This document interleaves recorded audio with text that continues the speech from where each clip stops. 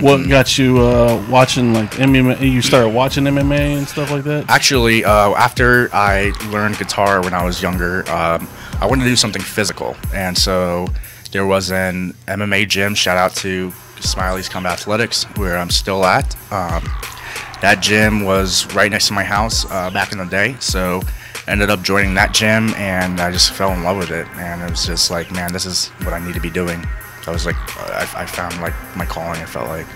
Um, has there been like a, a fighter in the MMA or UFC that's caught your attention?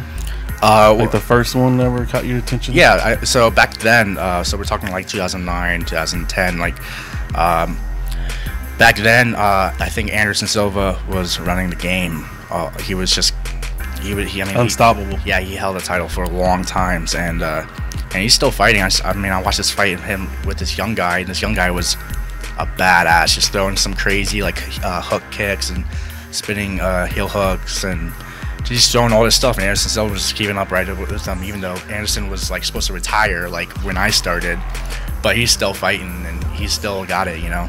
So he was always uh, one of those guys.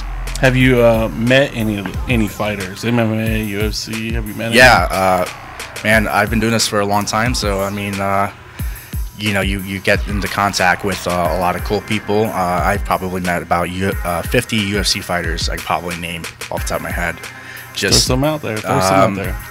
Mike Brown, like Hector Lombard, uh, Royce Gracie, was the very first UFC fighter.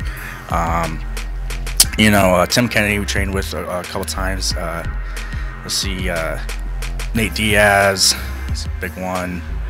Uh, Anthony. He's Rumble like one of the ones yeah. I would like to meet. He's yeah. He seems wild.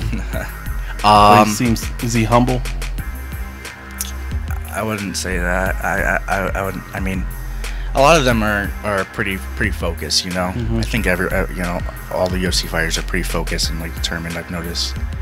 Um, yeah, just to name a few. I mean, I can go on. The list goes on. And and what's the, the you trained with some UFC fighters? Yeah, I mean, well, they come and do seminars. Um, like my coach, uh, one of my professors, Tom DeBlass, is a UFC fighter. He was a UFC fighter, also was in Bellator, and currently signed to ONE FC. Uh, so I mean, I, we, we train with UFC fighters all the time. Uh, you know, we had sorry, we had uh, the, the girl I was telling you about, Tecia Torres, her fiance, and Raquel Pennington. It was Amanda Beth Cooper, Gray Maynard, and Benson Henderson, which was actually uh, used to be uh, champion. I think it was lightweight or lightweight champion, something like that, uh, for the UFC. They all came and uh, trained not too long ago um, at my gym, and we just they just kind of got some work in. So a lot of times, uh, UFC fighters they actually come. We we all just kind of train together. It's kind of like a normal thing for fighters. Yeah.